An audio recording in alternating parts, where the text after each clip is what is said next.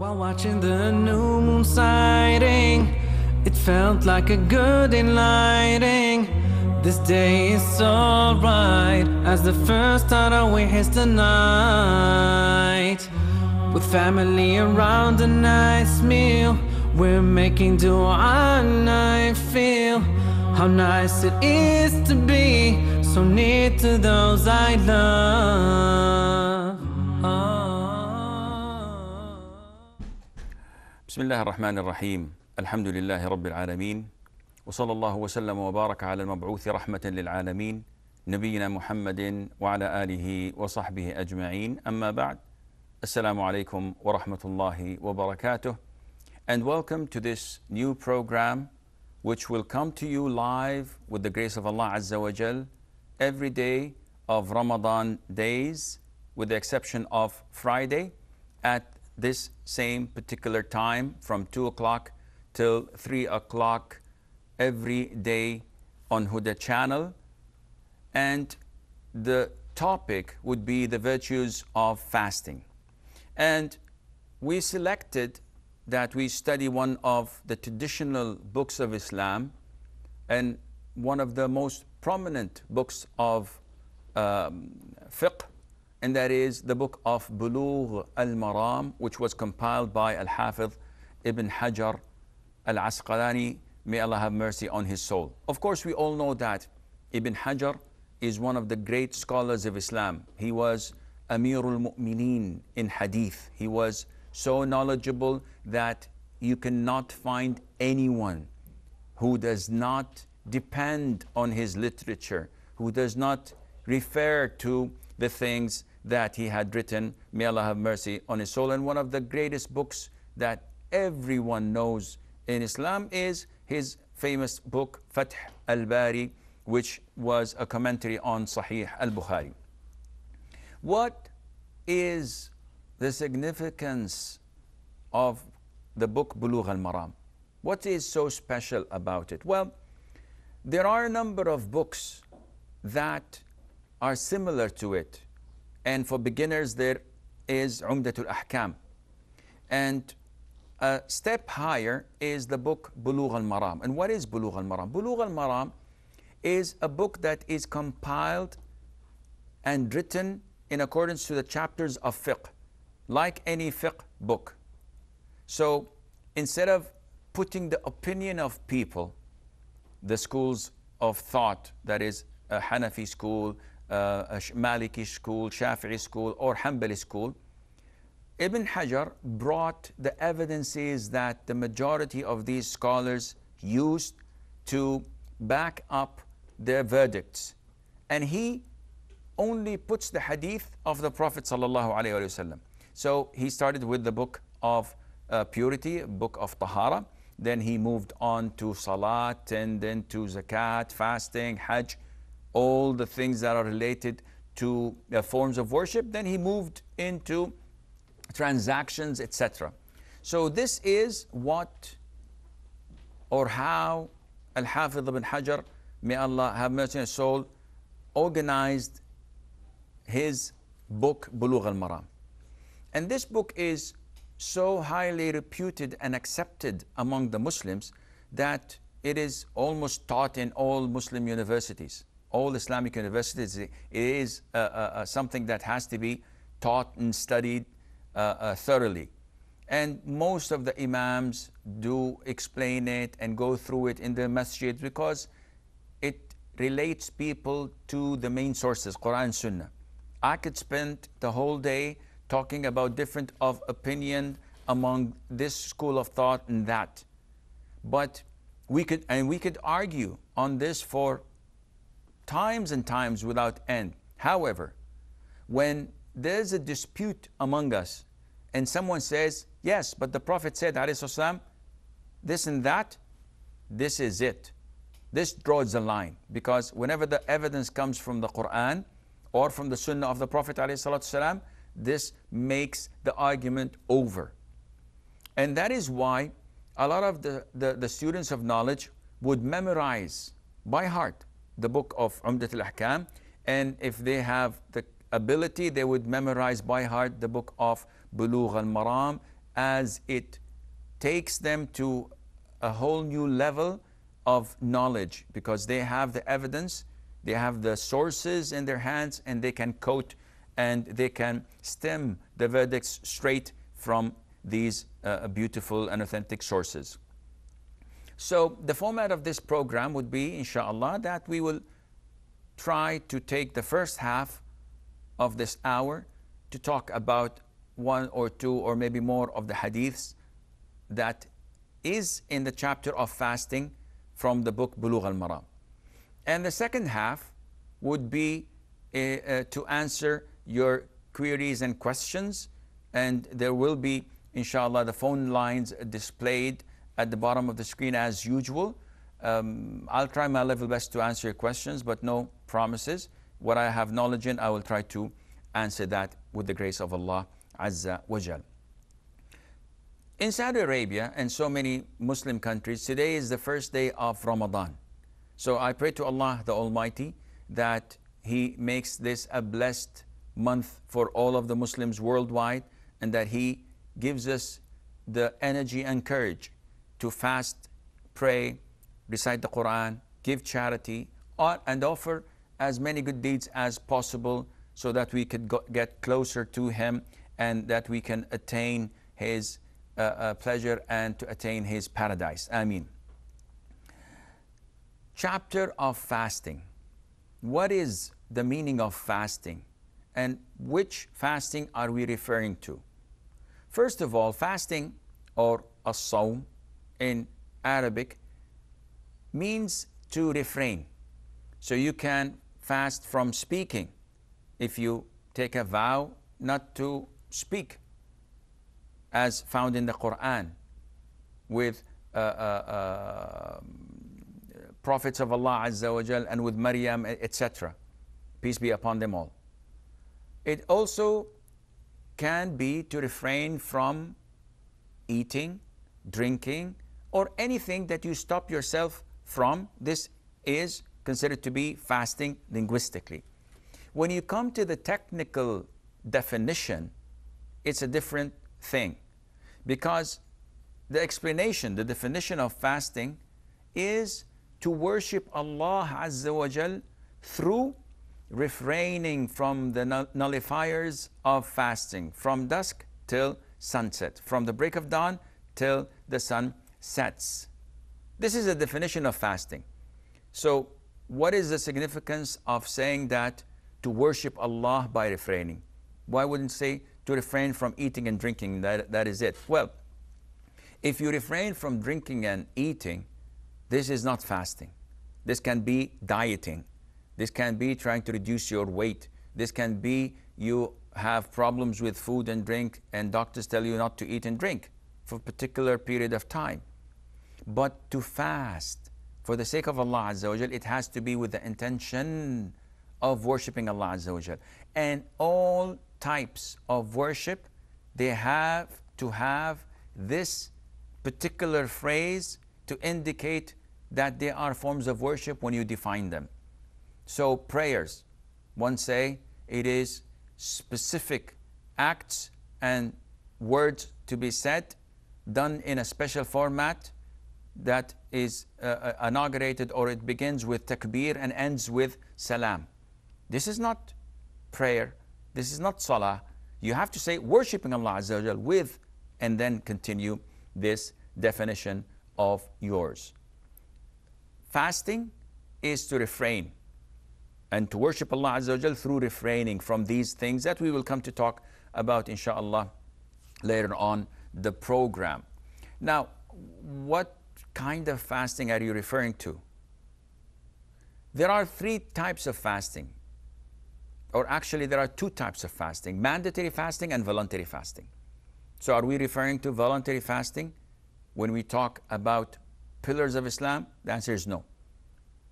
In Islam, we have five pillars. And the fourth pillar is fasting the month of Ramadan. So how many months do we fast per year? Only one month.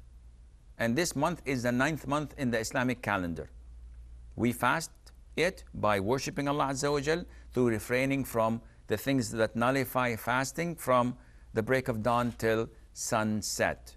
How long would that be? It depends on the region, it depends on the season. So if it were to coincide with winter, daytime would be very short, like 8 hours, 10 hours in some places, maybe less. But, it, uh, but if it coincides with summertime, it can reach up to 21 or 22 hours. And this is a lot. However, Allah does not mandate something except that the people are capable of bearing and of tolerating and performing. So Allah does not burden a soul beyond what it can bear. And this is a well known fact. So, fasting Ramadan is the fourth pillar of Islam. And it is a pillar, meaning that if you take one of the pillars of the house, the house would collapse. It is so important that it is one of the pillars of Islam.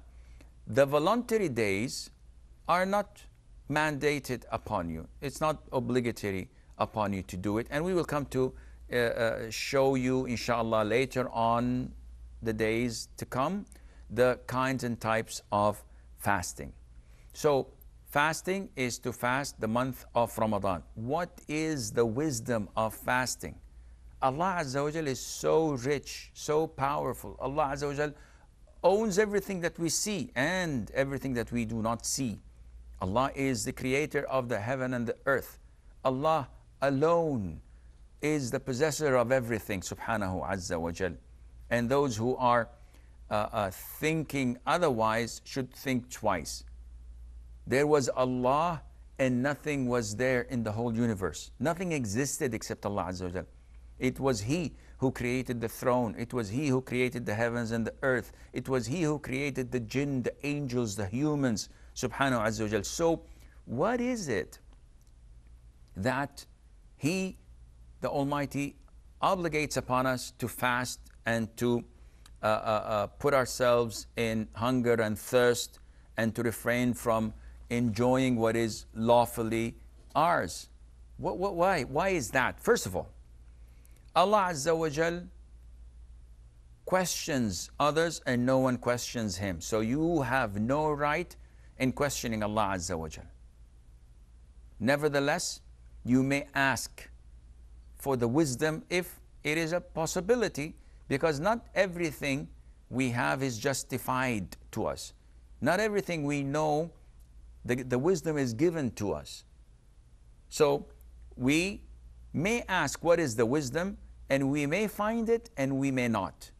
So, so for example, when Allah Azza tells us that intoxicants are prohibited for a Muslim, this is logical. Any atheist would understand why. Any uh, non Muslim would quite agree because when you're drunk, you do things that you regret. And sometimes you don't even get the chance to regret because it's too late. So it is something for your own good. So we know the wisdom. But when it comes to men not wearing gold and women, it's permissible for them to wear and use gold. So what's the wisdom? Is it the price? Because gold is expensive? I can, it's permissible for me as a man to wear a diamond ring, which is much more expensive than gold. So, what is it? This is something that Allah Azza wa Jal knows why, and this is part of the essence of our creation. Allah says in Surah Al-Dhariyat, وَمَا خَلَقَتُ الْجِنَّ وَالْإِنسَ إِلَّا لِيَعْبُدُونَ I have not created the jinn and the humans except that they would worship me. So this is the sole idea of our creation, that Allah Azza wa wants to favor us, to bless us. He gives us a chance to exist out of nothing. He created us out of nothing. And He gave us the chance to choose whether to be in paradise for eternity or to go to hell for eternity. So Allah the Almighty is so kind and generous that He created us to worship Him. And part of worshiping Him is to obey Him. So Allah Azza wa Jal ordered us to do things. And we have to prove whether we are worthy of His mercy and forgiveness when we comply and do, or we're arrogant and ignorant, and the best adobe for us would be hellfire. And part of the wisdom beyond or behind obligating fasting among the Muslims is the fact that Allah Azza wa is testing us. How is Allah is testing us? See, everything else you do, people usually can judge you. So if you pray, people see you pray. If you go to Hajj, to pilgrimage, people see you going to the pilgrimage. If you give zakat, the poor are receiving money and you are getting money out of your bank account. So everybody can see that. When you fast, it is, nothing, it is not something you do, it is something you do not do. And that is, you refrain. And it is one of the greatest forms of worship that expresses your sincerity to Allah Azza wa Jal and your full obedience and observance that Allah Azza wa Jal is, is uh, observing you. How is that? When I'm in the toilet performing wudu, the first thing I do is to turn the water in my mouth. It's hot, humid, I'm thirsty. What is the thing that causes me to spit out the water that I was just turning in my mouth? It is the fear of Allah Azza wa. When a woman is cooking in her kitchen and she takes a taste without swallowing it, of course, to find whether the salt is okay or not, who's watching if she takes a whole morsel and takes few bites here or there? No one knows, but she knows that Allah is watching over her. And likewise, this child who can take candy and eat under the bed or in the cupboard or wherever, but he doesn't because he knows and acknowledges that Allah is watching him. So one of the greatest uh, uh, uh, reasons behind or wisdoms behind fasting of Ramadan is the fact that you acknowledge Allah is watching you and this is a test from Allah Azza wa Jal. Why was it called Ramadan? Beautiful name, short, quick, easy to remember. Why was it called Ramadan? There are a number of linguistic interpretations, and the most famous one is because when they gave the names to the 12 months of the year, Ramadan happened to be in summer and it originates from the heat of the stones and the rocks and, and, and, and the floor. So they called it uh, uh, Ramadan. And fasting Ramadan is one of the things that admits you to paradise. Fasting in general is something that is rewardable. The Prophet said, والسلام, Whoever fasts one day in the cause of Allah, for the sake of Allah, fi sabilillah, Allah Azza wa Jal would further his face from hellfire the distance of 70 years. How far would a traveler uh, travel in 70 years, Allah would further and depart your face away from hellfire this far. And this is if you fast one day for the cause of Allah. Scholars say that this is a day that is voluntary. So you do the math. What would Allah Azza wa Jal do for you if you fast for His sake and anticipating for the reward? A whole month for the sake of Allah, which is obligatory and mandatory, definitely it has a great reward. Allah Azza wa Jal has put a gate in paradise and called it Ar-Rayyan. So we have eight gates for paradise, seven for hell. May Allah protect me and you from hellfire. The gate that, one of the gates, the big huge gates that is a distance of maybe 40 years between them when the, the gates doors are open. It is called Ar-Rayyan and this is only for those who fast. So imagine you being called from this from that gate with the grace of Allah Azza wa Jal. So this beautiful month of Ramadan has lots of virtues. And fasting in general has lots of virtues. And the more we learn about it, the easier it gets. So now, if someone is watching us in Birmingham or in Finland, as one of the brothers called me from Finland a few days ago saying that they fast like 21 hours. And It is difficult. I'm not saying that. I fast here in Saudi Arabia for 16, 17 hours, and some of us may find it difficult. I don't, alhamdulillah, with the grace of Allah. But some may find that difficult. So, what about if it's 21 hours? This means that they have only three hours to break their fast, have their sahur, pray their taraweeh, and th- this is too little. However, this is what Allah has decreed upon them. And once they know the reward behind it, and once they recognize how much Allah Azza wa has given them, they will find, with the grace of Allah, the, the virtues, and they will find it easy for them to uh, anticipate, inshallah. So now we take the first hadith in the chapter that deals with Sawm from our book, Bulugh al Maram.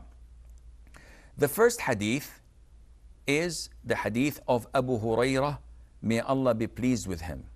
He said that the Prophet sallallahu alaihi wasallam said, None of you should fast a day or two before the beginning of the month of Ramadan, unless it is a day on which one is in the habit of fasting, that is, voluntary fasting that coincides with that day. And this hadith was agreed upon. Now, this hadith is quite direct, but there are so many benefits and lessons that we can learn from it. For example, if you analyze this hadith, the Prophet says, والسلام, None of you should fast a day or two before the beginning of the month of Ramadan. This means that if I wanted to fast the 28th of Sha'ban or the 29th of Sha'ban, the Prophet ﷺ is telling me, do not do that. Now, is this prohibiting me to do it or it is not recommended? What's the difference, Sheikh? See, the verdicts in terms of halal and haram, recommended, not recommended, are five. So, whatever form of worship you want to do, or whatever thing you have to do, you have to apply these five rulings on them. It's either mandatory, obligatory, fard, this is the highest, you have to do it. If you do it, you're rewarded. If you don't do it, you're sinful and you'll be punished. So this is number one, mandatory, obligatory, fard. And number five is prohibited, sinful, uh, forbidden. If you do it, you're sinful. You'll be punished. If you refrain from it, you'll be rewarded. So it's opposite to each other. Then number three is what is recommended. Mustahab, sunnah. If you do it, you're rewarded. If you do not do it, you're not sinful. And this has many uh, forms and many uh, uh, um, examples, such as when I pray sunnah after dhuhr prayer. I prayed four rak'ah uh, dhuhr, then I prayed two rak'ah sunnah. These two rak'ah sunnah are sunnah, recommended. So if I do them, I'm rewarded for that. But if I don't do them, I'm not sinful. But I've lost the reward. Number four, which is the second from the bottom, which is the opposite to recommended, which is not recommended, not preferred, which is makruh. And makruh is something that if you do not do it, Allah would reward you. But if you do it, if you fall in doing it, then you're not sinful. So if I enter the masjid with my left foot, now this is something against the sunnah, it's not recommended, but I'm not sinful. Yet if I enter the masjid with my right foot, anticipating the reward, then this is something I will be uh, uh, um, rewarded for. And number five, which is in the middle, and this is permissible.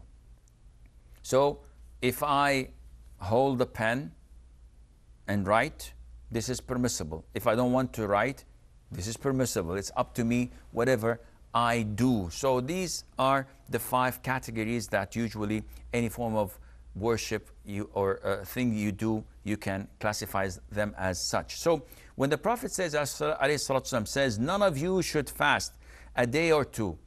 Now, this is an order from the Prophet ﷺ not to do. So when he tells us such an order, is this a prohibition or not recommended? Originally speaking, whenever the Prophet tells us, don't do this, it is prohibited. And when he tells us, do this, it is mandatory. Unless there is another evidence that would reduce the prohibition into not recommended or reduces the instruction or order into being recommended. So, for example, the Prophet والسلام, told us not to drink while standing up. So, this is a prohibition. But it was reported that he وسلم, drank Zamzam standing up. So, this shows us that it was not prohibited, it is not recommended. And there are so many examples. This is not uh, um, the right time to go through it in detail. So when we go to this hadith, the Prophet says, Do not. He says, None of you should fast a day or two before the beginning of the month of Ramadan. So we take this as it is for its face value, and we say that, yes, we should not uh, fast a day or two before the month of Ramadan. And there is an exception. And the exception is, the Prophet says, والسلام, unless it is a day on which one is in the habit of fasting. Okay, so the Arabic text says, except if a man is in the habit of fasting. But a man here does not mean, uh, mean male, it means both males and females. So it's not only directed to men. So this means that if you are in the habit of fasting, voluntary fasts, like Thursdays and Mondays, like the fasting of the Dawood every alternate day, or if you, for example, are used to fasting three days of every month, and on the month of Shaban, you did not have the chance to fast them except in the last three days of Shaban. In this case, the Prophet tells you والسلام, that you are okay, you are uh, given the permission to fast these voluntary days. And why is that? There is a lot of talk about it, and it's connected with the second hadith that I believe that we would not have time for uh, in today's program. Therefore, I will postpone talking about the remaining of this hadith and the following hadith till we meet tomorrow. We have a short break. And after the break, with the grace of Allah Azza wa Jal, we will begin to answer your calls if there's anyone watching and has queries on his mind. So stay tuned, and inshallah, we'll be, be right back. Ah.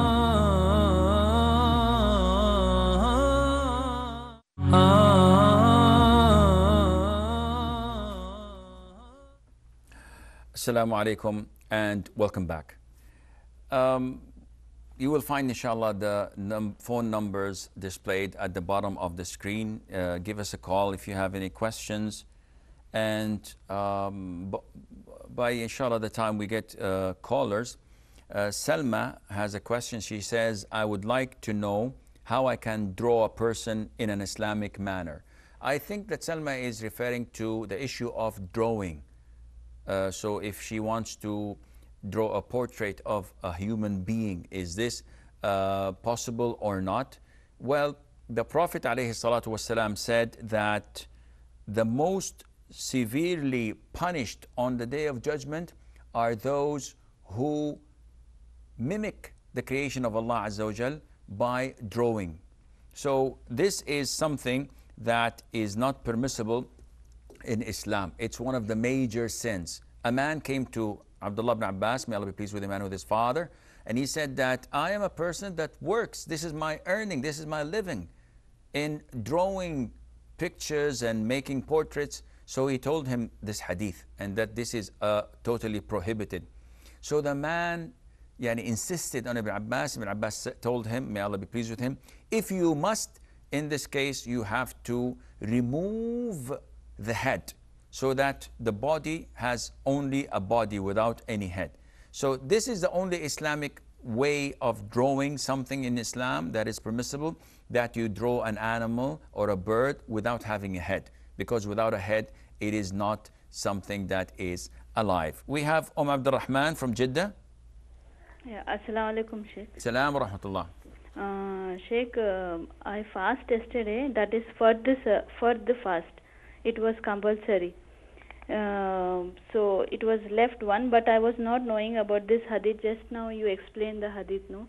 So is it okay for me? I I want to know about that. Okay. Uh, Jazakallah khair for uh, bringing it up, Um Abdul Rahman. I did not elaborate a lot because the time slot was over. Uh, the issue is that whenever you have obligatory fast to make up, you have all the right to make it up even at the very last day of Sha'ban. This hadith the Prophet ﷺ is highlighting is not including mandatory fast. So women who are making up for missed fast, they can fast it on the 29th of Sha'ban or on the 30th of Sha'ban. There's no problem in that because this is far greater than fasting Mondays and Thursdays or fasting voluntary days. We have Mary from uh, Nigeria. Assalamu alaikum. Salam wa rahmatullah. Assalamu alaikum, Ya Sheikh. Wa alaikum assalam, Mary. What can I do for you? Uh, my question is I have a two question. Yes. My question, I have a two question. The first question is that if someone used to fast every Mondays and Thursday, and then uh, and also the person is always traveling, always traveling to different places, so many countries. Can he continue doing his fasting if he can't, or uh, it's not uh, good for him to to do the fasting during his journey? Okay. Second question.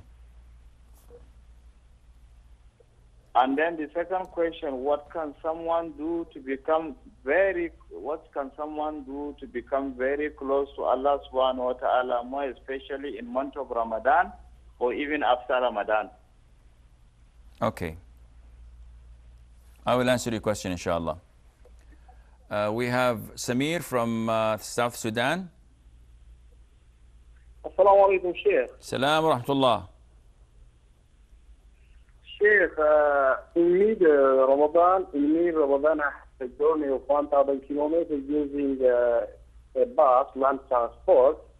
Of course, uh, I heard that if you have a journey, you can uh, you can choose uh, fasting and you can continue the day after Ramadan. But I want to fast it while I'm al- also in the journey. So how can you, uh, Sheikh, can you say something about it? Okay, I will, yeah, Samir. I will, inshallah. Abshir. Okay, I will answer your question, inshallah. طيب, um, Umm Abdul Rahman, we have answered her question, uh, inshallah. Um, Murray from Nigeria, he says that he's used to fasting Mondays and Thursdays and he travels.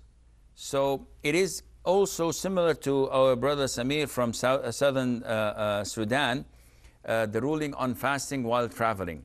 First of all, the Prophet Allahumma salli wa sallim said a very beautiful hadith that gives a lot of hope to all of us.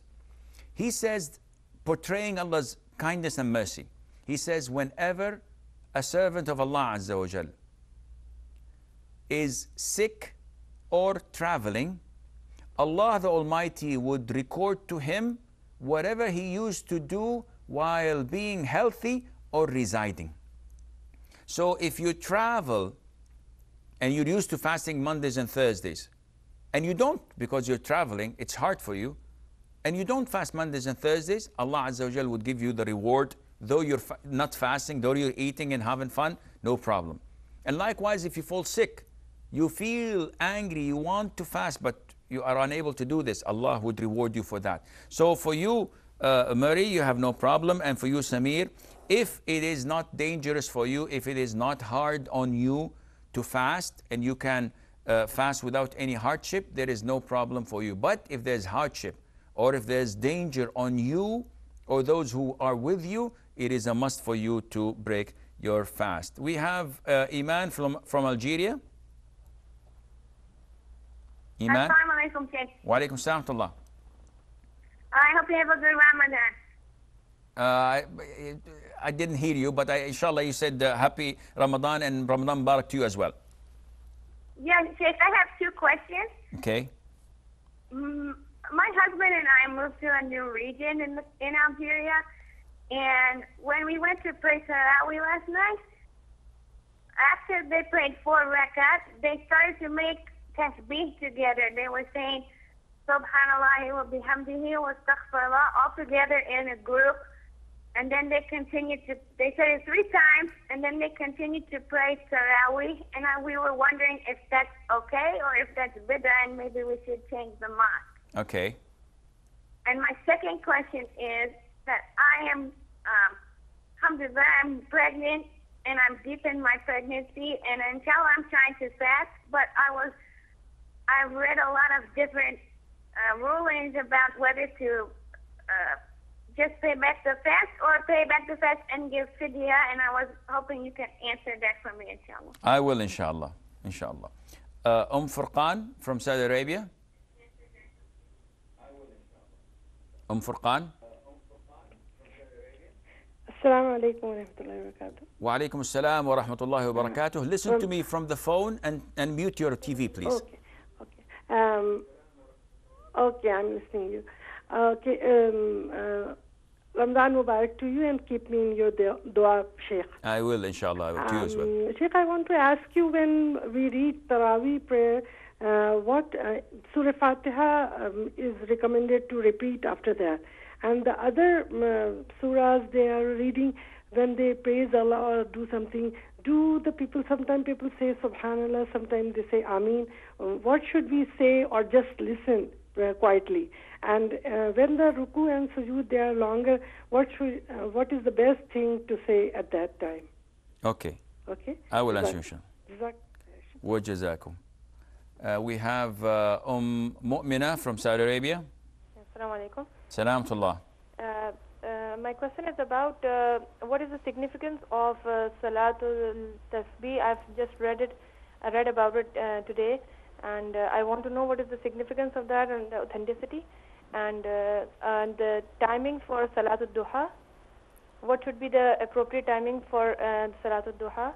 And uh, one more question about the Sunan and Ratib, or we call it. Uh, uh, the sunnah that are oblig- uh, like wajib or uh, the same they, they, they, they fall in the same category Okay, I will answer your question, inshallah. Okay, I think we take like uh, five minutes before we take the following uh, caller and answer the remaining questions. Mary from Nigeria, he says, What's the best way to get closer to Allah Azza wa Jal? Akhi, this is all what Islam is about how to get closer to, to Allah Azza wa Jal and stay as far as possible from hellfire. And this needs a lifetime. Uh, it needs a whole lecture to, to talk about. But to sum it up and in a nutshell, the best way to get closer to Allah Azza wa is to stay away from haram. Totally. Major, ma- minor, big, small, whatever. You stay away from haram, the Prophet says, salatu refrain and stay away from what is prohibited, and you will become the most uh, uh, uh, uh, the most person to offer good deeds and the mo- most uh, the biggest or the best worshipper of Allah. So do refrain and stay away from haram and do what Allah commanded you to do because nothing would get you closer to Allah and nothing is more beloved to Allah than the things that He mandated upon you. So the minute you do this, you are you are in good hands, inshallah. Iman from Algiers, she had two questions. She noticed that the people in Algiers, after every four rak'ah, they'd say Subhanallah or Subhan al Malik al Quddus or whatever. In Syria, I prayed there and they say uh, d- different things. Allahumma salli ala Muhammad, taraddu ala Abi Bakr, taraddu ala Umar, uh, ask Allah Azza to be pleased with Abu Bakr and Umar, etc. All of these are innovations. It is easy for you to say that something is innovation? Because if the person doing this innovation fails to provide me with evidence that the Prophet used to do it, salam, or his companions used to do it, to do this, then this is an innovation. Simple as that. If I say that when I pray, I like to put my hand on my forehead, I say, Allahu Akbar. What is this? I said, listen, putting it on the chest is mm, kamsi kamsa. I'd like to put it on my forehead because this shows I have great iman in my heart, blah, blah, blah. This is an innovation. I said, why do you say innovation? You're Wahhabis, everything is innovation, innovation. Did the Prophet do it? Said, mm, maybe. Said, if you fail to give me the evidence, then he did not do it, then this is an innovation. So, after Taraweeh, after four rak'ahs, after two rak'ahs, offering salutation to the Prophet, offering dhikr, tasbih, whatever, did the Prophet do it? Yes or no? The answer is no, then it's an, an innovation, regardless of the country that is doing it. Now, she says that she's pregnant and she wants to know what is the most authentic opinion. Does she fast? Does she skip fasting and pay fidya, expiation? Or does she does, uh, does not, uh, she doesn't pay fidya, but she make up, makes up for it? Does she combine both making up and fidya? The most authentic opinion is that you skip fasting, you dodge fasting when you're pregnant or you're breastfeeding until you're able to make up, then you have to make up for all these missed days without any financial expiation, no feeding, nothing, just a day for a day. We have uh, Amr from Saudi Arabia.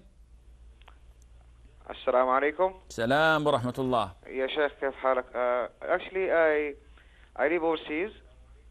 Okay. And then I have, I'm, I'm facing a problem with uh, giving my sadaqah. After every Jum'ah, I can see people like non-Muslims, they, uh, they are in need. Okay. So, so what, the what, thing like, Amr, what kind of sadaqah are you referring to? Zakat or just general sadaqah? a general sadaqah. Okay. So the thing like, I don't know if I'm allowed to give them uh, this sadaqah or not. Okay. Usually I don't give, so I try to find Muslims. G- Good. I will answer your question. Any more questions? Thank you. Assalamu alaikum. Wa alaikum assalam wa rahmatullahi wa barakatuh. We have uh, Sabrina from Algiers. Yes. Y- yes, Sabrina. Uh, yes. Hello. Yes, I'm, I'm, I'm listening to you. Uh, yes, Sheikh. Um, uh, I have a question. It's about uh, my mother is um, a Canadian. Okay. Okay, Sabrina. She, she was Christian. She was Christian before um, she married my father. And then she became a Muslim. Okay. And, uh, well, she had all, uh, five children, uh, including me, of course. And after um, uh, two years ago, she uh, filed for divorce. And uh, they divorced, uh, my parents divorced. She came back to Canada because we were living here in Algeria before that. And now she she became back a Christian. She came, she, She- she what? She became a Christian again. Okay. So she's not a Muslim anymore. She Okay. said that uh, she. So um, the, the the main question is, my father is asking us, her children, to uh, stop talking to her, and um, because it's haram, and I don't know. So I'm kind of uh, confused there when it comes about your mother. You know, it's not easy to do that, and I don't know if it's haram or not. Okay, I will answer your question, inshallah. Uh, we have um, uh, Aisha from Nigeria. Assalamu alaikum, Sheikh. Salam wa rahmatullah. Sheikh, I love you for the sake of Allah and Ramadan Kareem. Uh, Ramadan Mubarak to you as well. Um, Sheikh, I have a question. Um, my husband has fertility problems. He, he cannot give birth unless we did do test. But we have a child, he's like 13 year old. So when I always tell him, let's do it, he'll say, no, he's not ready for it, he will not do it. Sheikh, if I wait patiently, um, am I going to be rewarded from Allah or I should ask for divorce? Uh, And my second question I, is, I didn't get your Huh? first question, Aisha. Uh, Your husband, uh, you're unable to have children from him? Yes, he's He has a fertility problem. He's what? Infertility. He has fertility Ah, ah, problem. okay, Fertility. okay, okay. Okay, so the doctor said we should go to the hospital. We should do test tube, this test tube baby, but he refused. So if I stay with him, will I be rewarded with Allah from Allah if I stay patiently? And my second question is, Yes, did you get the first one, sir? yes, yes, I, I got you. Second question. Okay. Okay. The second question is, I promised. Hello. Yes, I'm with you. I'm listening. Okay, I hope Aisha uh, uh, sends her uh, second question again. Um, Aisha from uh, Saudi. Hello. Yes, Aisha. Assalamu alaikum. Sheikh. Salam wa rahmatullah. Ramadan Mubarak. And Barak to you as well. I have three questions. Okay. Uh, if a if a person did not wear ihram from the miqat, so is uh, umrah is correct or not? Okay. Um, and my second question is, I when we recite, if we don't follow the madd rules, will it uh, will be sinful or not? If you do not recite what? Uh, madd rules, uh, not elongate the madd correctly, four and three and six. In tajweed, you mean? Yes, yes, yes. Tajweed Okay. rules. Mm. And third And question? My third, my third question is after the recitation, is, uh, reciting this dua, أعوذ أعوذ بكلمات الله التامة من شر ما خلق اللهم إني أعوذ فاستعوذك نفسي ودينك. Uh, should we blow on our hand and wipe, uh, wiping on our body? Is this correct or not? Okay. Uh, thank you, Sheikh. Uh, you're welcome. Okay, we will. Um, okay, we have uh, Amina from Kenya, I think, and this is uh, the last question, so that I can answer this before the end of the program. Uh, Amina, السلام عليكم ورحمة الله وبركاته. وعليكم السلام ورحمة الله وبركاته. Sheikh, thank you very much for the wonderful work you and the other brothers here, inshallah. May God bless all of you. My Amen. question is, can I follow the TV maybe when I'm praying Tarawih at home alone, Uh, the Sheikh in, in, in Saudi? Can I follow? Is it allowed? To follow who? You want to follow who? Okay, uh, maybe I'll try my level best. Okay, now we will not have any questions and try to answer what we have uh, from 0 to 60 in less than 5 seconds, inshallah. Umm Furqan, she says that the ruling on uh, Taraweeh, when people are reciting Taraweeh, and she sees them reciting the Fatiha, the Surah, but then the dua, she's referring to dua al-qunut when the Imam says, Allahumma hdini fi, ihdina fi man hadayt wa afina fi man afayt. And people say Ameen, and sometimes they say Subhanak, sometimes they say Nashhad, Haqqan. Oh, So she's asking, what is this? All of these are baseless. You either say Ameen or you just refrain from uh, mentioning anything. So when the Imam is asking Allah, Allahumma hdina fi man hadayt, guide us among those you guide, you say Ameen. But when he praises Allah, إنه لا يذل من واليت ولا يعز من عاديت تباركت ربنا وتعالى. He's praising Allah. You don't say anything as simple as that. Some people think that it is okay to say حقا نشهد, etc. But this is uh, basis to my knowledge. And she says sometimes they prolong the sujood and ruku'. What to say in it? Well, very easy. In ruku', you praise Allah Azza wa Jal by saying Subhana Rabbi al-Azim. Or Subhana Rabbi al-Azim wa bihamdih. Subhanak Allahumma Rabbi al-Azim wa bihamdik. Or you say Allahumma laka raka'tu bika amantu alayka tawakkalt. Uh, uh, and you say the rest of the dua that you will find probably in Husn al-Muslim and the description of the Prophet's prayer wasallam by Sheikh al-Albani, etc. In sujood, the same thing. You have lots of du'as that you can say, invoking Allah Azza wa Jal, Subhana Rabbi al-A'la wa bihamdih. And you can ask whatever you want from this world and in the hereafter. So you say, Oh Allah, forgive me. Oh Allah, pay my debts. Oh Allah, cure my illness. Oh Allah, uh, uh, guide my wife to be uh, realistic or guide my spou- spouse to be generous, etc. Whatever.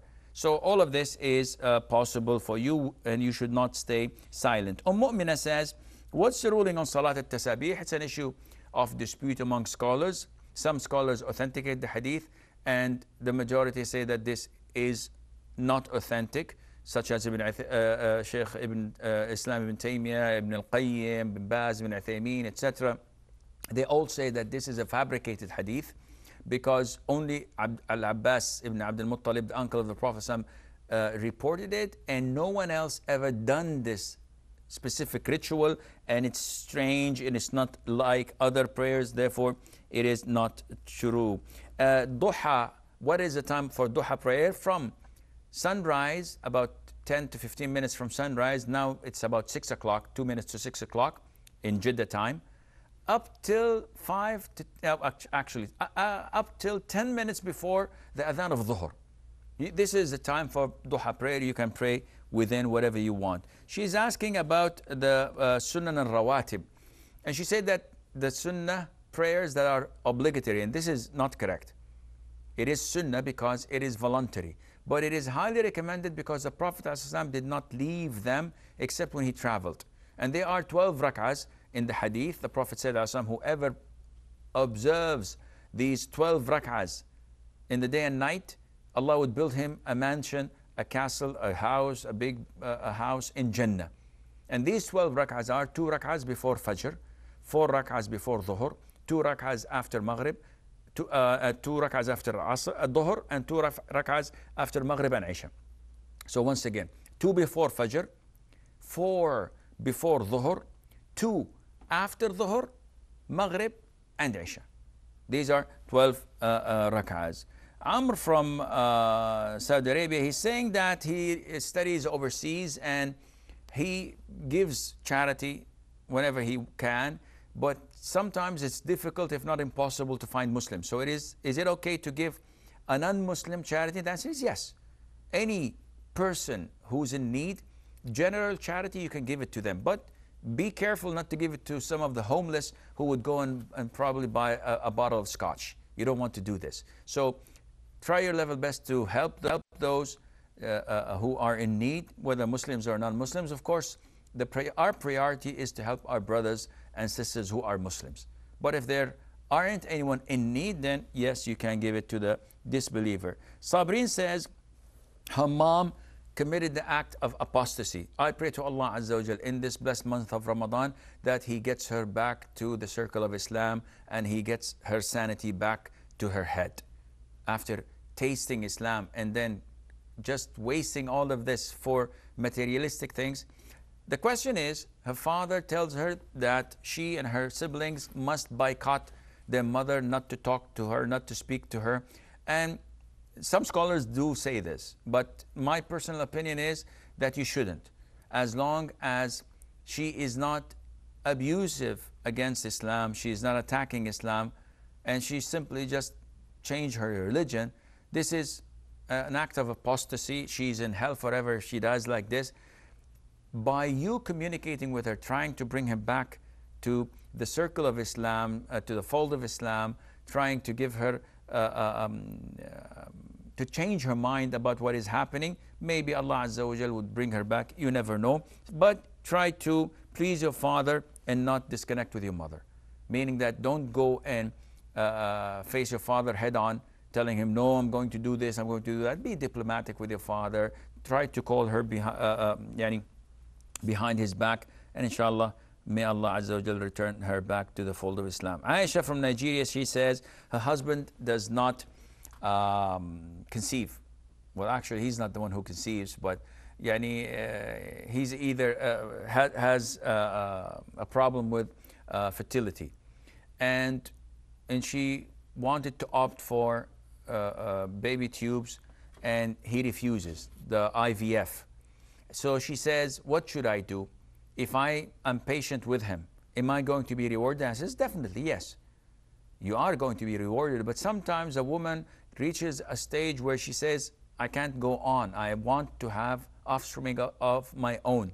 And if there is a possibility and he's not even trying, in this case, if she uh, goes for divorce, this is her right and uh, she can uh, do that without any problem.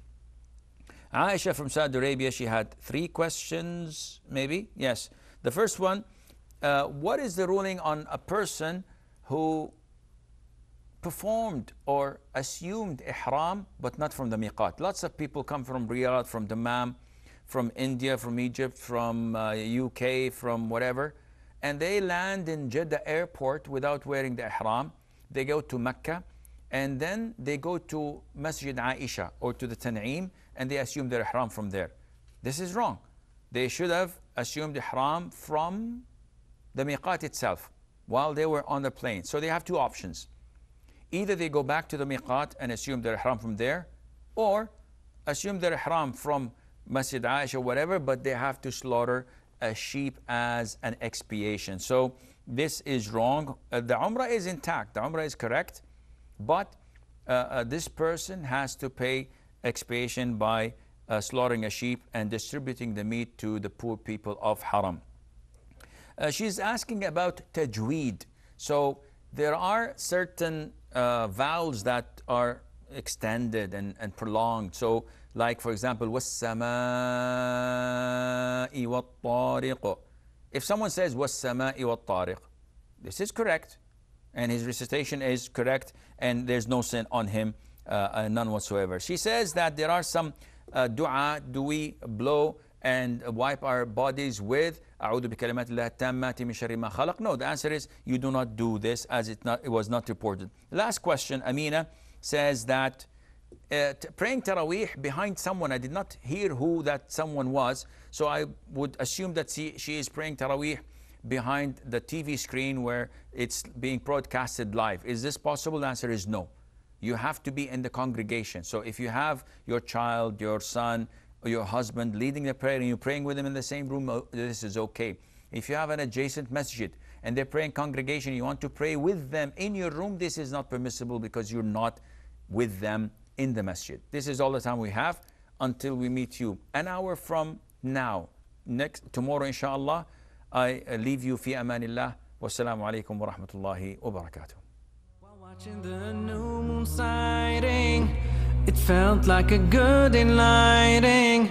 This day is so bright as the first Tarawih is the night.